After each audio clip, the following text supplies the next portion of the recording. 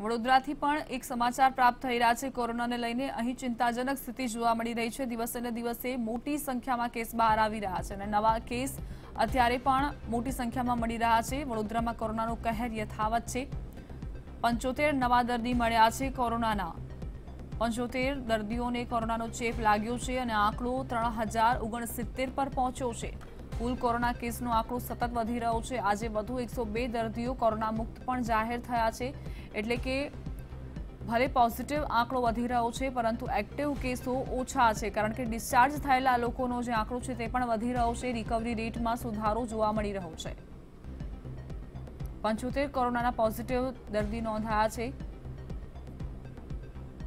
ત્રણ હજાર ઓગણસિત્તેર પર કુલ આંકડો. તો આજે વધુ એકસો બે દર્દીઓ સંપૂર્ણ સ્વસ્થ થઈને ઘરે પરત ફર્યા છે.